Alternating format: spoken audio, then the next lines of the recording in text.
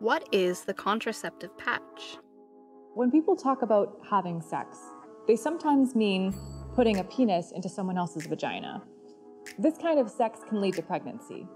But some people like having sex because it feels good, and they don't want to become pregnant. Using contraception can help prevent pregnancy while you're having sex. Some people call contraception birth control. Pregnancy happens when a sperm meets an egg, and birth control stops that from happening. The contraceptive patch is a type of contraception. Some people just call it the patch.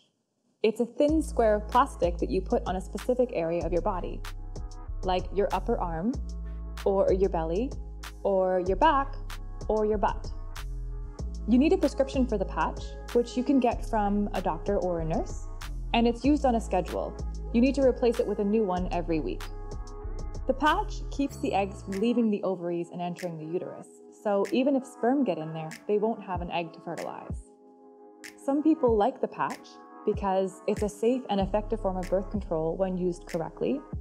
It can make your periods lighter, it can make your cramps lighter, and you don't need to remember to replace it every day, just every week.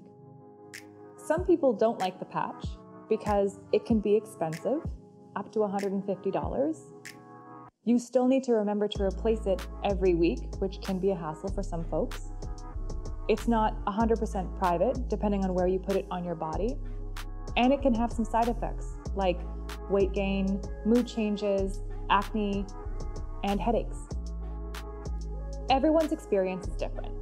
Just because someone likes the patch doesn't mean that you will. And just because someone doesn't like the patch doesn't mean that you won't. Side effects are different for every person too, just because someone has some side effects doesn't mean that you will. While the patch is good at preventing pregnancy, it doesn't protect against sexually transmitted infections. Only condoms protect against STIs, which is why some folks choose to use both the patch and condoms when having sex. If you're curious about using the patch, you can talk to your doctor or a nurse about it.